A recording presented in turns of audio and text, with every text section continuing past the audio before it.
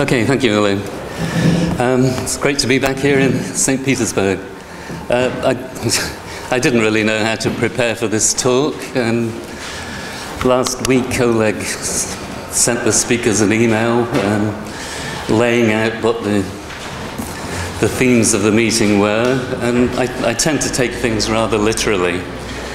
So part of the email said we were interested in uh, developing STS in St. Petersburg, and part of it said um, how might STS uh, shed some light on possibilities for the, the new Skolkovo Institute.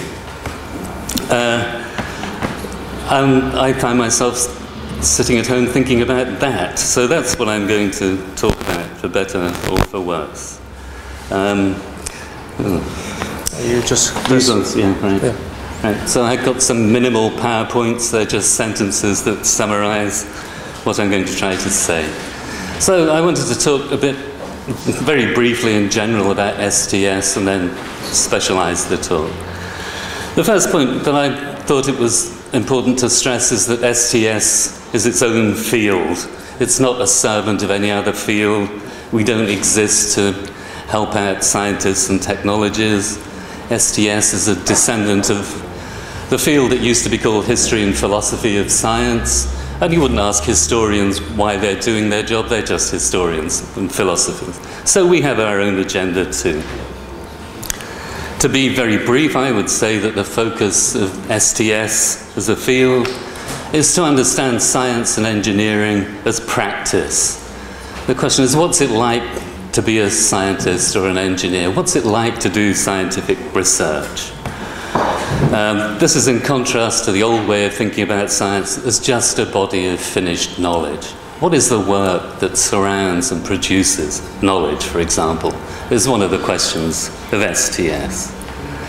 Having said that and insisted on the autonomy of STS, I want to say that STS can nevertheless um, is nevertheless very relevant to all sorts of concerns. I think it is a useful field of study, but it's not ever going to be useful in a determinist, causal, linear fashion. You don't call in an STS expert and say, you know, what are we, what are we going to do now? STS is useful um, in the sense of illuminating, shedding important light on difficult real world problems. And I'm going to talk a bit about how this goes. The most obvious use for STS is that most people out there in the world know almost nothing about the technical side of science and technology. So they have to think about machines and scientific theories as given things, as if they appear from outer space. But STS can help people here to understand science and technology as real situated historical products, as made by real people in specific situations. So STS helps to make possible public, critical, and constructive engagement with science and technology. It brings these activities down to earth. This is very important, but I think perhaps it's not so relevant to our discussions today. So we can think about a different angle. My own work has focused for a long time on trying to understand science as culture and practice, trying to understand the hard work of producing new knowledge or making new machines. Innovation is the key word these days for what I've been studying for a long time. And I think these kind of studies, my kind of work, can feed back into scientific practice, in, in, can feed back into scientific practice in interesting and important ways. How does that go? Well, when Oleg uh, sent us his email last week, he also sent us some PowerPoints laying out a vision of what the Skolkovo Institute will be. Um, and I was struck by several references in these PowerPoints to the Skolkovo Institute as an ecosystem. And the, the word ecosystem was accompanied by images of people putting pieces of a jigsaw together. I don't know where this PowerPoint came from. Is it yours that you sent to? You'll see it later today. Okay, right. So we're in a kind of time warp. I'm talking about something you'll. No, no, it's the Skolkovo Foundation people who sent Oh, it to me. It's Oleg and Artem are the authors. and one of them will comment upon it, I hope. All right. So one concern at Skolkovo is to produce an ecosystem, uh, yeah, an ecosystem of different sciences, uh, different organizations that will translate the products of science and engineering into the market and commercialize them. And the image was putting jigsaw pieces together. Uh, interdisciplinarity is another currently popular word for this idea of putting different disciplines and fields together, though we might think about inter-institutionality or inter-organizationality, something that goes beyond academic disciplines. So what do we know about this process of putting the jigsaw pieces together from STS? Most strikingly, what we know is that attempts to foster innovation through interdisciplinarity often don't work. They fail. The jigsaw pieces don't join up to one another. It's really hard to establish a real research ecosystem.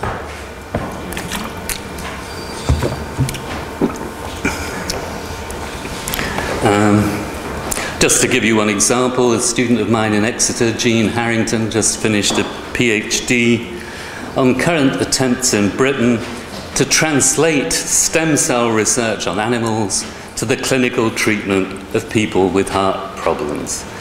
The translation from bench to bedside is the way they put it. This is an incredibly heavily funded project in Britain. Millions and millions of pounds have been sunk into it and very little has ever come out of it. Why? This is what Jean ended up asking herself. And the answer is that the lab researchers on one side and the doctors on the other side have got their own cultures and research agendas. And these keep them apart. They have different career structures, different publishing criteria, grant application procedures are evaluated differently for the two groups so that their trajectories just don't fit together. The pieces don't match. They don't lead into one another. And this is the typical situation in uh, trying to create interdisciplinary ecosystems.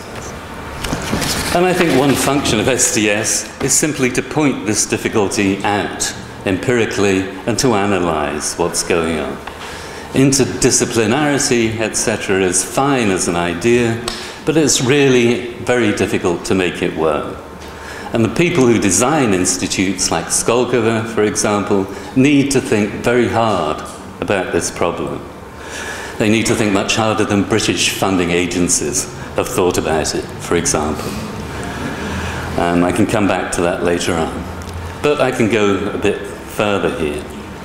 Fortunately, I once did a study, wrote a very long paper about the so-called second scientific, no, the second industrial revolution of the second half of the 19th century, a process sometimes called the wedding of science and industry. Especially, um, I studied the relation between academic organic chemistry in the uh, universities and the dye industry in Western Europe. This coming together of academic science and industry um, was historically enormously important.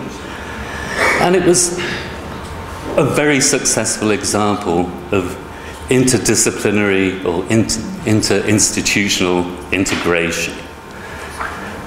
That process in the second half of the 19th century is what led us um, up to places like MIT and Skolkovo today.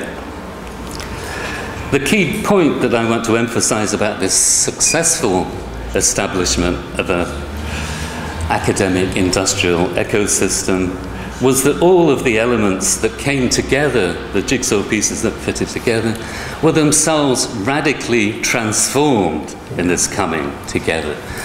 It wasn't that existing pieces magically fitted into one another, but all of the elements were, were tuned, mangled, as I would say, to align them with one another. chemistry in this process became something new. Um, at a very technical level, Kekulé's benzene ring theory, if you know about this, was part of the key. This development in theoretical chemistry was absolutely central to the joining together of academic research and industrial production. Industry was itself transformed, so were the universities, new ways of teaching, new career structures appeared, and even the law itself was changed. The German patent law had to be rewritten to make this junction of scientific research and industrial production work.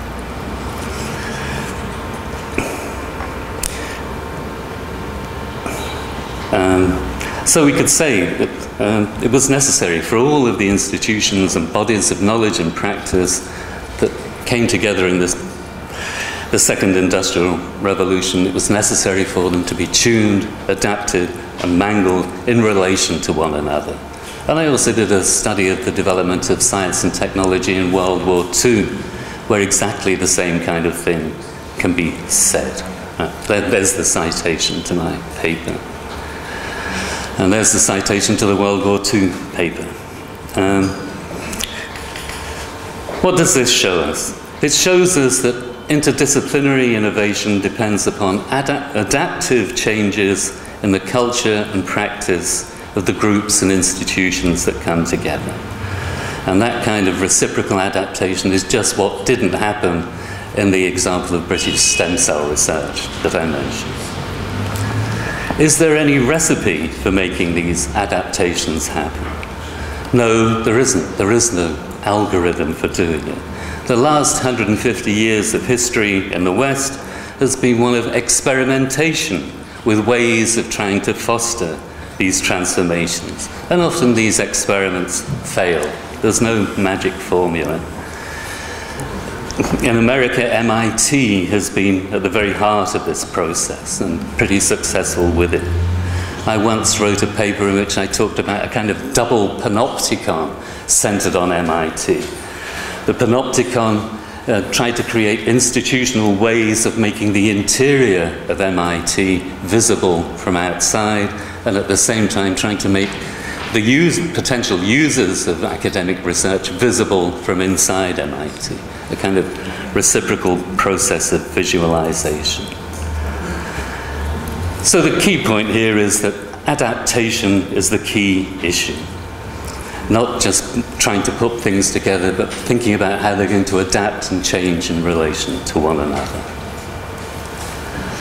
Um, to carry on with this just a bit further, I want to say that STS knows about interdisciplinarity and inter-institutional processes, studied those kinds of things.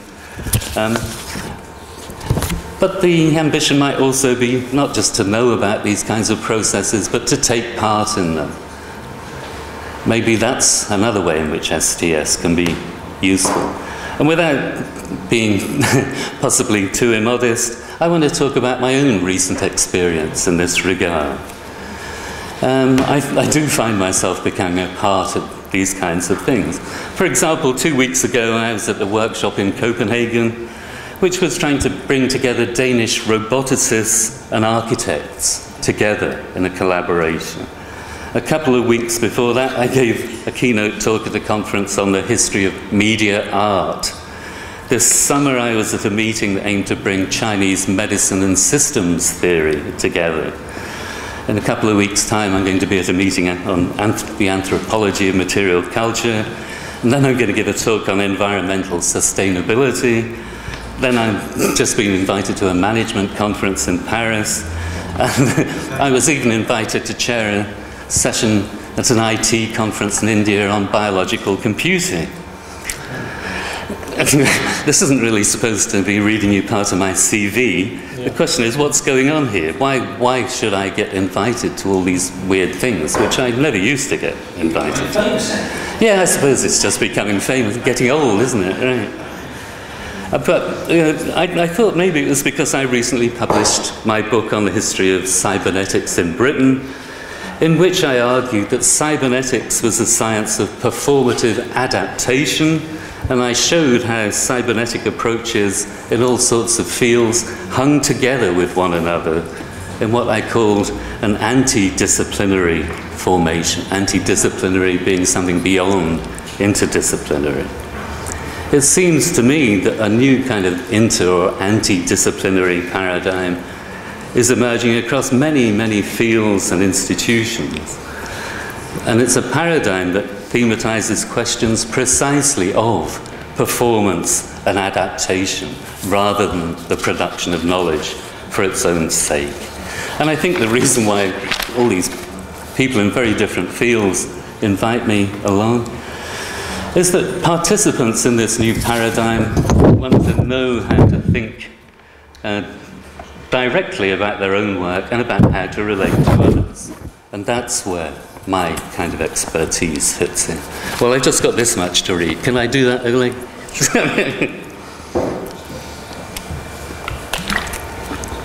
so I think this kind of integrate, positive, constructive, integrating function might be a significant future role for STS. And it might be important now in thinking about how to design the Skolkovo Institute. The key question is how to make institutions like that adaptive at all levels, running from the ground level of the science itself up to all the organizational levels that attempt to, create, to connect research to the market. What would adaptive structures for management and entrepreneurship look like? That, I think, is the key question.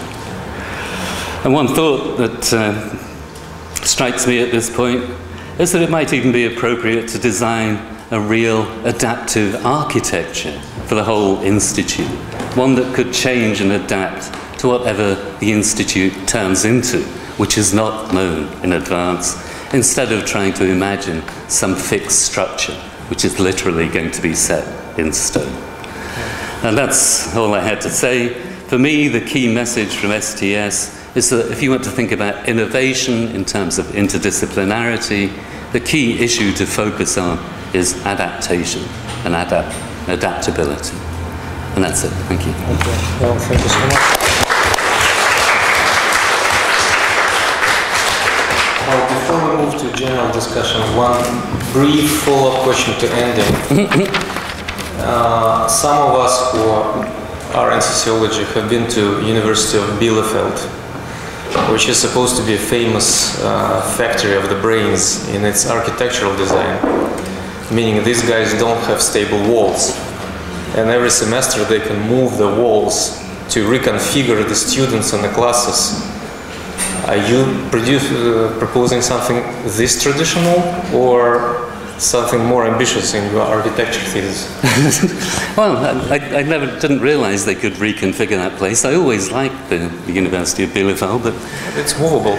Uh, yeah, I mean, you know, if I when I gave my talk on the history of cybernetics here last year, I talked about something a bit more ambitious, which was a building called the Fun Palace that was designed in London in the early 1960s but never built. Indeed, the Fun Palace was supposed to reconfigure itself to go along with whatever uses people found it, found for it from day to day. But the building was also designed to be unpredictable. It was designed to sometimes change in unexpected ways that would suggest to the occupants new things to do. So it was supposed to conjure up new kinds of activities and new kinds of cells. I just want to throw something on Bielefeld I to a chance yesterday social science researchers, well, a good bunch of them in, in Germany from Bielefeld discussing their new future research plans. It seems that that place, they've run out of space. They have to actually build a new building now for their new cluster. And that was one of the issues actually that came up. Would this Bielefeld model work if you had this new building they were making arguments? It's only 10 yards away, so they'll still be able to get there. But it's interesting. I mean, the, the, researchers themselves are debating the architecture. You know, yeah, very good. You can leave it there. We'll use the same. Um, well, so we have the recommendation for the mini mog uh, of STS and the fun palace of STS. what, what about becoming more serious? So, who would like to join?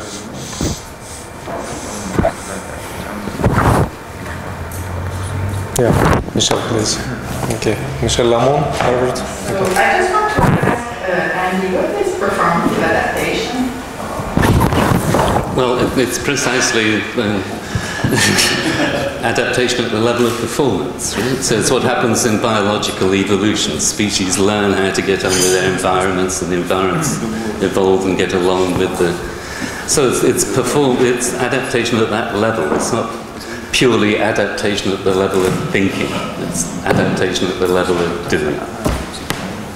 Okay, Trevor has to add something. Yeah, well, I'm, I'm struck. I think the metaphor of experimentation is, is the right metaphor if I had to do this. But I'm struck how, in the case studies I've looked at, and, and, and that there's, I mean, there's another model to the sort of MIT model that, that people build. I mean, this, for instance, this synthesizer guy basically builds his own laboratory for studying sound. Um, I just read the biography of Steve Jobs. It's, I mean, it's a really good biography, and you discover that how Jobs sets up the key part of the whole thing with the Apple stores is he has a laboratory. He basically experiments with different designs of stores until he finds the one that he thinks is right. So it's kind of a laboratory for stores. So there's, I think experimentation is the right metaphor as well. Yeah, Somehow to it's also this, these people seem to be able to set up their own laboratories and there's a flexibility in it as well.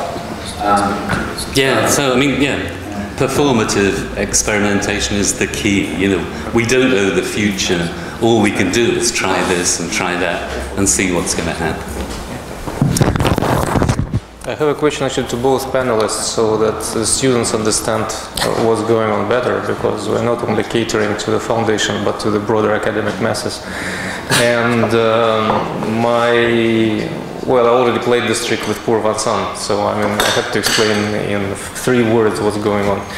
And uh, if we had to describe the STS tribe in uh, one sentence, uh, how would you define it phenomenologically that's what is being done in STS departments in US and Europe or some other uh, non-phenomenological way of uh, delimiting what is STS.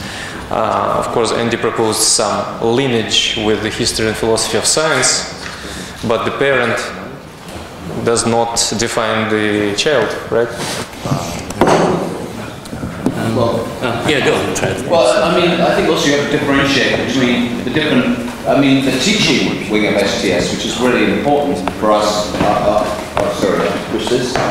Yeah, can you hear me? Yeah. Um, well, now we have a, a, a graduate program, we're well institutional, we have a graduate program and undergraduate majors in biology and society. We're teaching, doing a lot of service teaching for scientists and engineers. And I teach this big class called What is Science for 120 students every year, capped at that. So we have to think about what in the teaching role. And I usually present it in one one sentence. This is the students in science and engineering.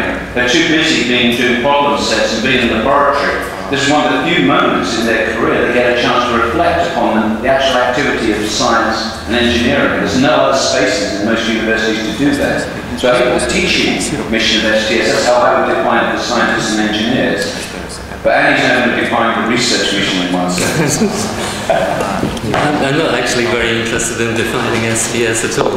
Um, I, of course, I'm teaching at the moment. It's called Cyborg Studies, and it's about uh, what, what's, what's it like to be in the material world. The question of being and becoming, and the relationship between people and things. That's what I mean by material.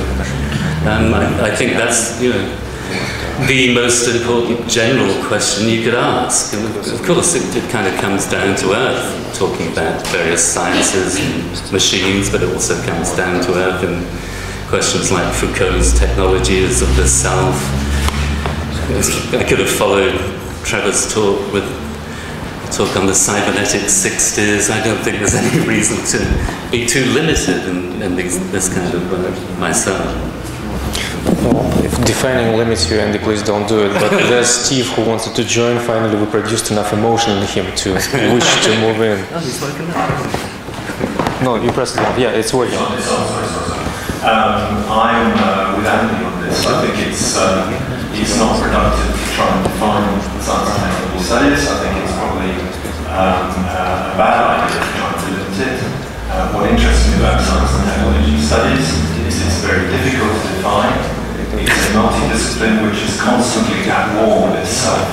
So it's disagreeing, and I think that's very productive. And it keeps changing very much indeed. Um, we had a, conference in Oxford a, few years back uh, on uh, does STS mean business, going to talk about that in, in a minute, uh, where one of the participants said, you know, before we can say whether STS has an effect on business and technology, we must understand what STS is. We must define it before we can sell it. And I, and I made the point to him that um, nowhere in the history of industry, anywhere on this earth, have people defined their product before they're able to sell it. so, so I think it's, it's a misapprehension be quite so, uh, worry too much about getting straight exactly what it is, what's in and what's out. Trevor, please. Yeah, yeah, I agree with that absolutely in terms of uh, definition. But one can think, of, one can say more about what sorts of things is STS particularly good at when you're comparing with other disciplines. So I, I just mentioned I edited this new hand, handbook of sound studies. So in writing that introduction, I had to think about, we had something I did with Karin Bijsterveld, the historian of sound from Maastricht University in the Netherlands. We had to think about um, what particular advantage does STS offer in a field where there are already competing definitions of sound studies out there. And for us, it was the materiality of sound that STS is particularly good at dealing with. So, you know, there's a word, uh, materiality, you can throw that in, you can start to cash out what that means with particular examples of the material production of sound, the attendance to the details of how particular sounds are produced from bits of technology. You often get into technology when you start talking about materiality. So I think you can start to say what, what we're particularly good at, what comparative angle STS has in compared to other disciplines for addressing certain sorts of topics. Okay, well, having listened to our peers and colleagues from UK and US, uh, I see that there was a Russian wish to comment. Uh, I wonder whether Victor would prepare at a certain point, but I see Mikhail who would like to interject. Uh, I had a question which I believe is asked every time when there is an administrative announcement. Uh, it seems that from what we know from the conventional technology history that there are periods of great uh, innovativeness of performative adaptability and less. There is believed that the Renaissance, either the Renaissance or even in the period of industrial revolution, were the most innovative periods and say ancient Egypt was not was not very much. And any administrator would ask you why, firstly, if it, it is really so, well, that is a way of rewriting history. And secondly, if there are periods of great innovativeness and less innovativeness, how, what, what's the limiting factor? How we can stimulate this kind of great performative adaptability? What's, what's behind that? Is it religious values, demography, whatever? Would you like to answer that? Wouldn't you like to answer this question?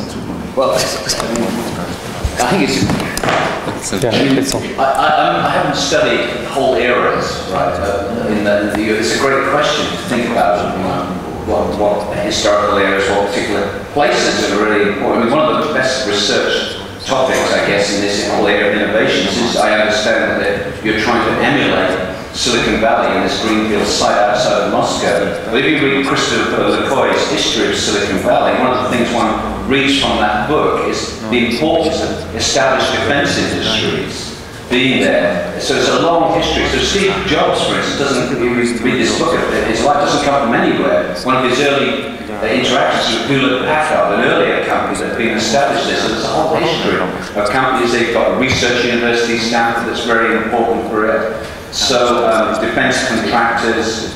So in particular places, it becomes a very complicated story of what leads to sort of an innovative culture in a particular place. But I think it can, it does seem that there are certain places, and um, sociologists have tried to address this issue in a much more systematic way, thinking about you know where, what you need? You need a university? Do you have to have a startup industry industries located? Which startup industries? It turns, I mean, there is, and Michelle probably knows about this research or, or on this. There is research in this area to try and think about it contemporaneously. Yeah, I mean, what, what, Trevor just said is right. Um, but I, Louis Powell, by the way, is doing the research at Davos. He's got a big project in comparing, it's mainly in biotech, all the different startups, and it's within America, and what are the factors that make a big But the answer you personally believe is this is path dependency and non-history of interactions and then how we can know the culture. That kind of activity. I mean, there's also a big element of chance. Uh, so, you know, when I was. The important thing about this development in the second half of the 19th century was the first one to kind of glue together academic research and industry. Uh, depended, apart from anything else, on finding a fabulous collection of material substances. These molecules, if we want to think about it in terms of molecules, just happen to be great things for spinning out a certain kind of scientific theory, and they were great things for dyeing cloth. They were very important. That's why they were important. And it just happened that the way the theory developed and the industry developed fitted together. Right? Nobody, um, without the Thomas Pynchon has got a great quote about this. We have to look into the heart of certain molecules to think of it. And without those molecules, nothing would have happened. But given that they were there, it becomes very interesting to look at the way directors of uh, academic uh, chemical labs actually moved into industry and spent 20 years developing. You, know, you, you could synthesize a, a dye like indigo in the laboratory, but then it's an enormous, enormous amount of work to scale that up to an industrial scale.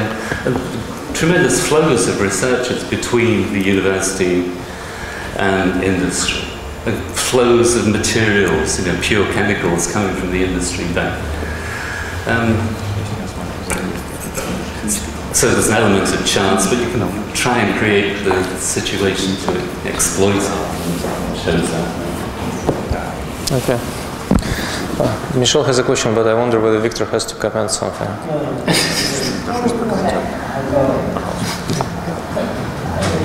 Okay, well, so first Michelle, then Victor, because, uh, okay.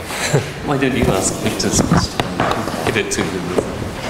So my comment is really about the institutional settings that might favor or not uh, the kind of cross-pollination between the industry and the market, which we, uh, I mean, the industry and research that we both talked about.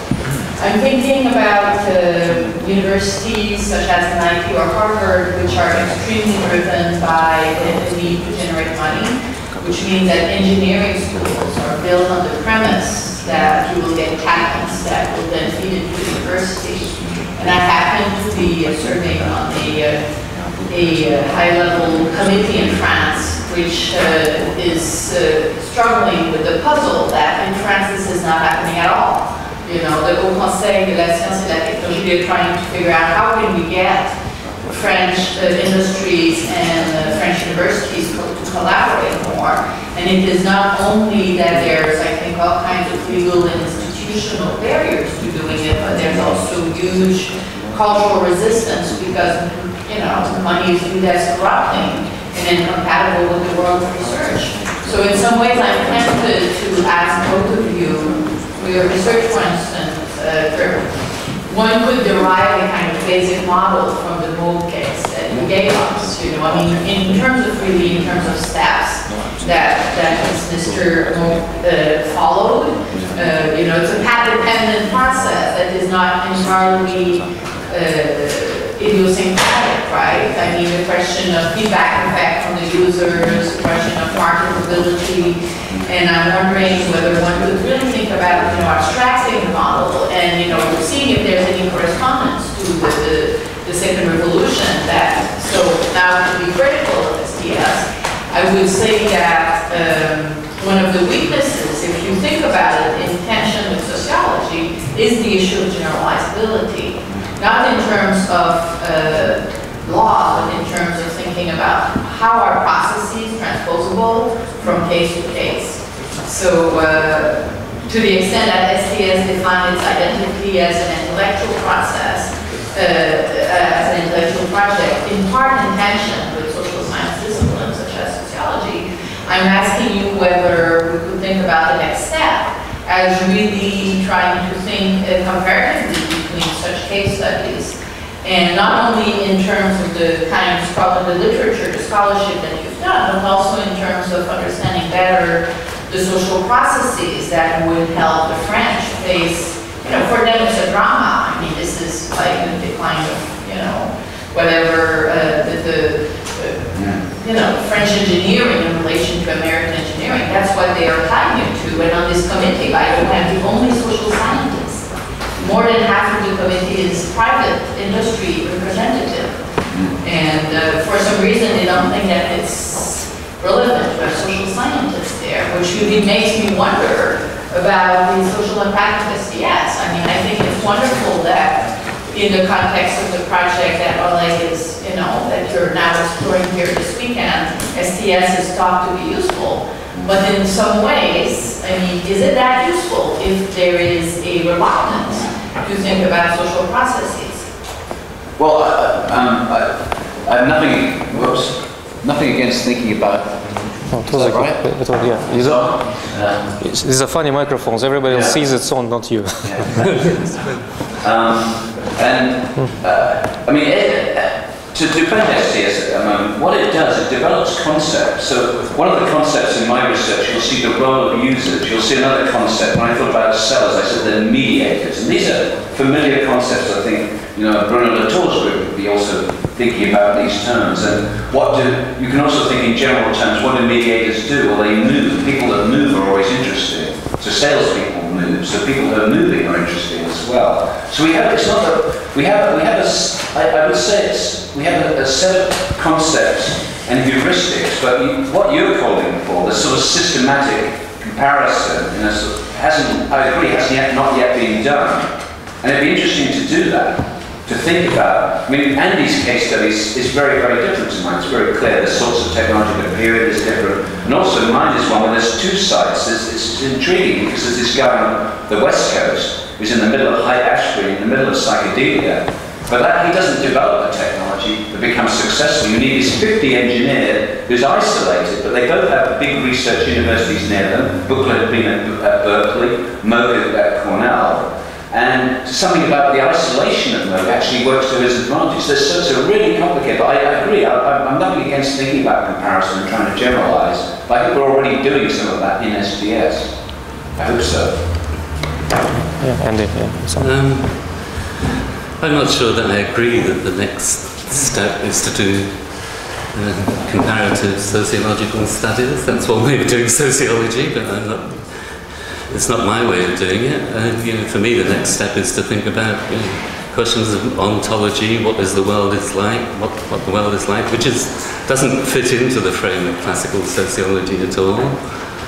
Um, you said something about social processes. Certainly, I think we all study them already. The, the, the, maybe a more constructive way of saying something in response to your question is, uh, know, for, for me, a, a key concept, concept is something like open-ended adaptation, experimental finding out what works. Um, what I was just talking about, what Trevor's example points to, is precisely this process of open-ended adaptation between all sorts of actors. If I was, you know, if you're thinking about real institutions and how to create them, the question is what stops institutions being adapted? What are the social structures that get in the way? And that question used to be a kind of abstract theoretical question for me until I moved back to Britain, where I found myself working in a totally non adaptive organisation. It's hierarchical, it's top down, it's fixed on a set of measures to the expense of anything else. Um, we need to perhaps look at models of really bad ways of doing things. And, and that PhD dissertation I just mentioned is a less, less emotional version of the same thing. Why don't those things, why can't the, the clinicians and the people exper- experimenting on mice adapt to one another? What's getting in the way? Um, yes. Thank you. Vincent. So I, I, I also hear uh, with Michelle's uh, comments, um, uh, Yeah, it is. It's on. and uh, I think she's actually much more friendly to us than what she, than what she uh, um, a current concern from people who get exposed to STS and who come out of that exposure by seeing only basically, um, I mean, a few case studies and a few very detailed case studies, and that they don't see they don't see a statistical mode of approaching these, uh, these questions. Uh, they don't see that as much as they do want. And, and they don't really know what to do with the, um, with these, you know, these, centers. Like we could study labs after labs and we could have, we could have, we could have the same set of concepts, but you know, each lab would be slightly different. And we wouldn't sort of aggregate or we wouldn't capitalize on that. What I find really interesting is that if you, we now have a few interesting studies of a different mode of reasoning than the statistical mode of reasoning. And I'm thinking of studies of the EU central bank, the uh, German central bank, and the New Zealand central bank by a scholar who is not well known but really interesting. His name is Doug Holmes. And he is basically, he's doing fieldwork with these bags, and what he discovers is that in the center of this sort of calculating centers of calculation, central banks, what are they doing now? Just crunching numbers. Well, they actually do that. What they do now, they actually send teams of quasi oceanographers in the field to figure out what the next, you know, what the next stage of these markets are going to be. So these guys have, have been doing up to the early 90s a very basic, you know, survey, you send surveys to um, heads of corporations and get back that information and then process that. And you try to figure out what to do with your interest rates on that basis. And they figured that they were just not getting any. So they actually moved something that looks like para-ethnography, sending people and basically spending time in these companies. And then, and the big question is how do you, how do you consolidate that? Because you have all these teams of investigators coming back to the central bank and then, and so what do you do with the, and so what's interesting is, you know, that we're balancing between doing, you know, you know, basically statistics on their clients, I mean, on their, on, on the uh, people who are actually going need money in the future, and talking to them, and they realize that, they actually need to, they need to have people who can talk to these companies, and here, be like sensors, very subtle sensors of what the next, you know, what their needs are going to be, where the markets are going to be, and they translate that into a policy implementation. And so they are trying, trying to figure out how to, how to translate that. But they are really, they are really eager to keep that first phase, which is, you know, we are, we just visit these guys and we don't, we don't really know what they're saying. We just, it's like an open-ended uh, um, interaction. Okay. Well, thank you. I wanted Victor to say something. Finally, he wants to. And as a ways of introducing, I should tell you that uh, this gentleman have first brought ANT as a fashion in Russia, and then he just nailed the last uh, nail into its coffin in the latest introduction to the book on ANT. That's my major suit, thank you. Uh, yeah, but that comment is going back to the comment of Steve, uh, and also about translation. It's interesting what's going on with STS when it's trying to sell itself to the industry. And this is a really interesting case for investigation. Uh, because uh, that's what we got started point of view of just knowledge about. because uh, we can, uh, I see strong analogy with what happened to uh, as a methodology when they tried to sell itself to industry.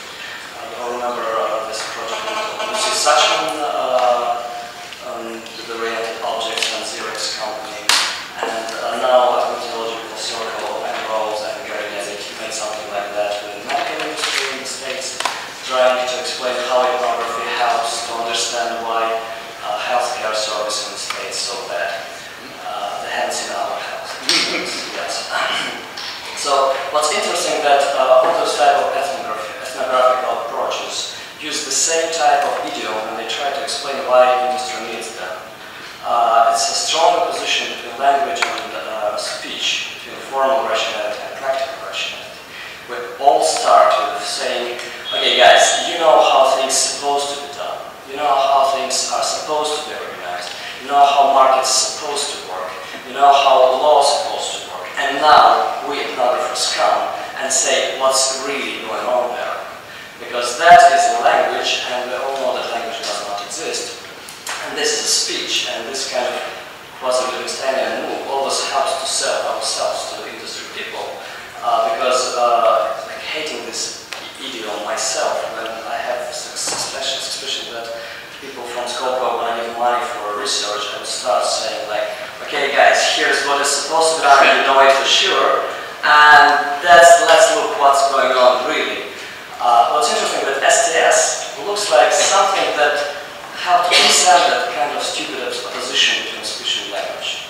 It looks like something that helps to go beyond the stupid uh, little bit ideological statement that there is something like formal rationality and things are supposed to be organized like that, and now we, ethnographers, will show you the truth.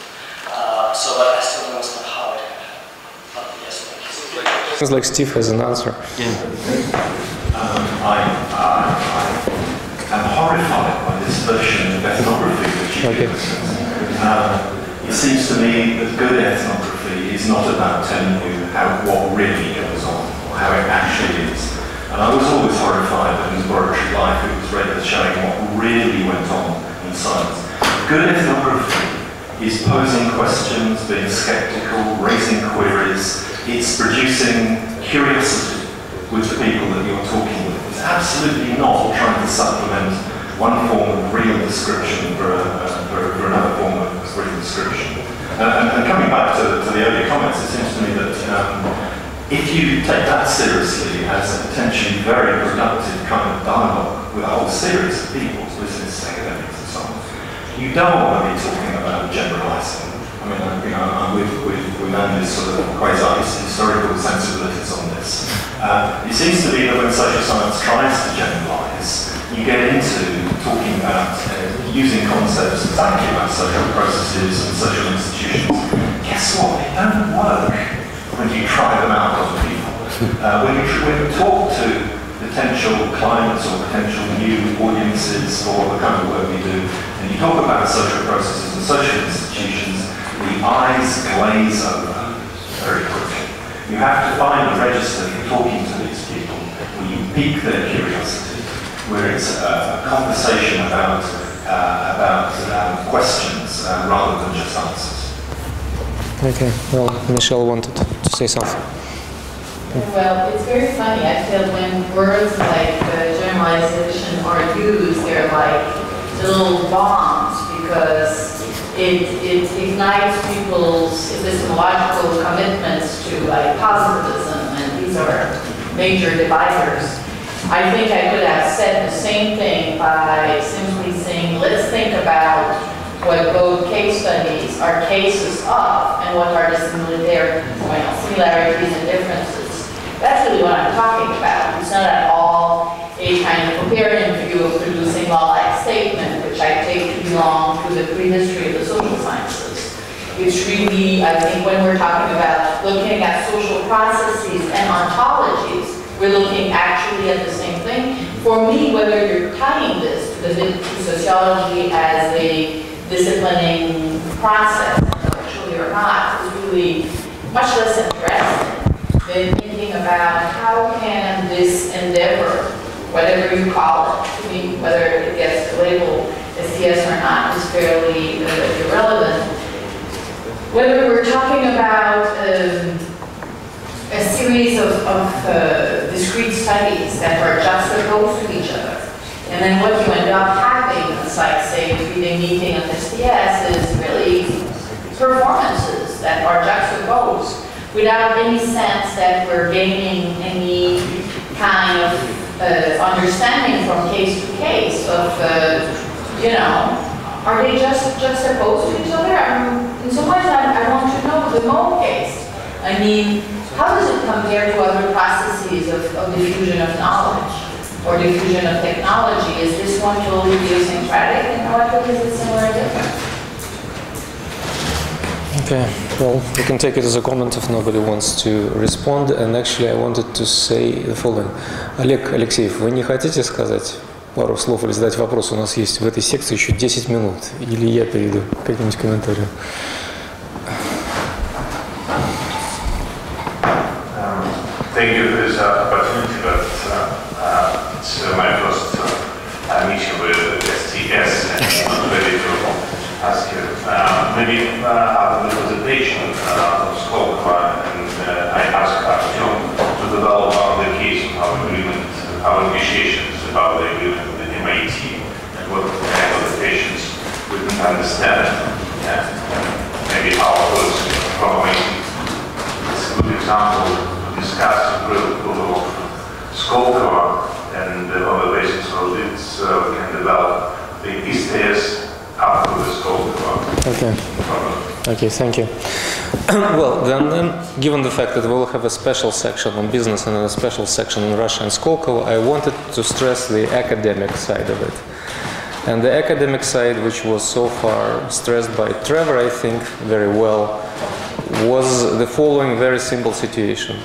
There are lots of engineering schools which teach engineering. And uh, what Trevor stressed is that engineers are not taught how to they do engineering themselves. And that's what sts does. It teaches engineers about themselves. How do they live and what do they do as engineers? That was the first thing which of course is very uh, important and serious. Now i had a president of the future skolkovo institute of technology in my office yesterday morning. He's uh, an aeronautics and aerospace engineer from MIT, Edward Crawley. He came and uh, he basically said that uh, he doesn't know the way Oleg formulates it, but for me he said it's always important that physicists and chemists understand something about policy issues, meaning he more or less kind of recast your suggestion to government talk because he, he knows that MIT has to sell it to the government very often. So you have to have engineers who can be at least active spokespeople in saying that kind of chemistry we need or that kind of physics we should be investing to. So that's the second thing why it's important. But I think if we formulate on these two roles, we lack the wonder or we miss the wonder of what drives uh, Andy. And this is the wonder at the complexity of the world. Because what I think what STS does to engineers is one thing, but what it does to social scientists, it's like when you're aged not 25, but 35 or 45, and you realize you still don't know anything about the physics of the universe. and you've got some years to finally to fill the gap and leave something which is not just pure sociology, but something which is a monumental claim that you're closer to Greek philosophers who knew something both about the world and the human beings. That's when STS becomes of epochal promise. And I think that we shouldn't be under stressing. It's basically, it has an impact not only on engineers and the way engineers understand themselves. It's about uh, how we understand ourselves as human beings. Yeah, Trevor. Yeah, I, I just, um, well, I, I echo that. I sort of to there's an area also of STS that we haven't talked about, which hasn't yet really developed. And um, Steve Shapin, just at recent um, uh, Society for Social Studies Science meeting, joint meeting with HSS and SHOT at Cleveland, said this is that, and I agree with him, we don't actually, because we avoid psychology, we don't talk very much about the actual process of, of invention in terms of individual actors, how, how they come up with these ideas, this, this sense of wonderment that perhaps Andy has with the mystery of the world. And it's a sort of an area we don't like to go into very much because I think historically we've avoided thinking about it in terms of psychology. But I think it's an interesting area that um, I myself have, have, have written one paper um, which I've been trying to think about what is it that Moog brings? How can he be this person who can create this new technology? And how do you start to think about invention in an interesting way? So we don't want to go back to the old psychological categories. We have to think of an innovative way of doing it. But I just wanted to put that out. I think this is a great research topic that the STS and other scholars can start to think about. Yeah, well, thanks. Well, I think we, uh, as professors, have monopolized the floor for quite some time. We've got six minutes for students. I'm ready to work as a translator if somebody wants to pose a question in Russian. So I will take the humble position of just translating your questions. Я готов перевести любой вопрос студентов, э, будет по-русски на тему нынешней э, панели, можно по-английски, как хотите. На тему можно встать и спросить, что такое СТС.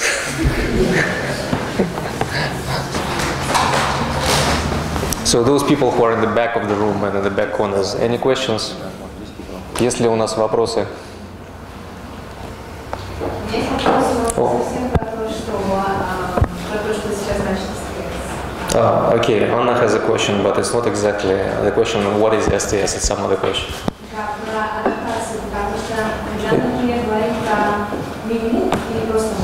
Uh, it's, where, it's about adaptation. When we're speaking about the mini Moog or just Moog.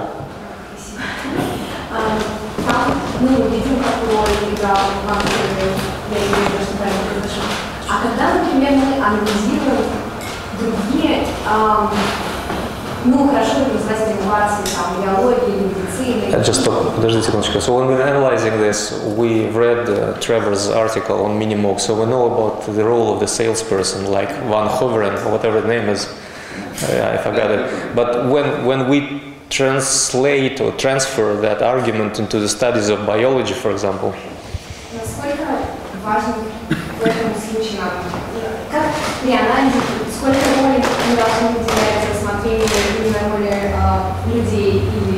Или sales. So when we do that, uh, the study of biology, how much role we should pay to what humans do, in particular the salespeople of biological products? Yeah, oh, great, great, great question. And um, I- I, I just want to make a little pitch here. As they, the salespeople always talk about pitches. Um, but studying selling in different contexts. I mean, I've just written an article with a grad student, Asaf Darr, on the neglect in, in, in sociology of studying salespeople.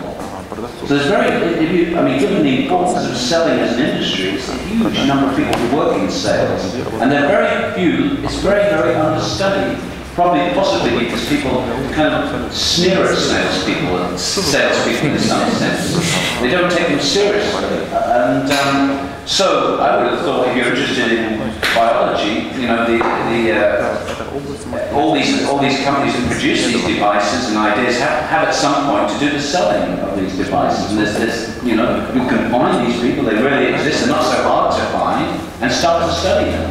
I mean, it's just, that's this is the starting point of. I, I, I haven't studied it in biological theories, because I know so little about biology, out of my depth, I certainly will find these sales forces there and hanging out with them, doing ethnography with them, interviewing them, or doing historical research on particularly important pieces of biological technology and how it was actually sold. It seems to be a, a really great research project. Okay. Well, I guess Trevor has picked up on his favorite topic about the sales. By the way, Trevor, in Russian, uh, frequently new English words get sedimented into Russian language unless they are in high demand. And in the last 10 years, there's a new Russian word called sales. No, no, sales meaning that's a person who goes into sales. Тут пришел один sales и предлагал мне один продукт. Okay, Anna has a question. I have a question for us. Um, I think I understood uh, how you theory lately working on historical, like chemical how can you use it for explaining development institution? For example, Scotland. Uh, is it clear my question? It's, all, it's on. Oh, sorry. um,